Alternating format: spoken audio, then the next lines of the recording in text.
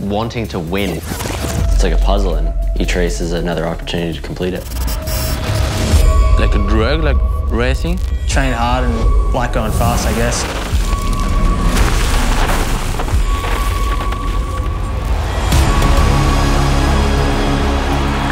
I still remember the feeling, winning, standing on top of the podium. I remember all the hard work I put in there, but when it all came together, it was such a big payoff. So that's what these guys do, week in, week out, all summer long. But what do they get up to when there aren't any races to go to? I've travelled around the world the last 10 years. I've seen some amazing places, but home's home.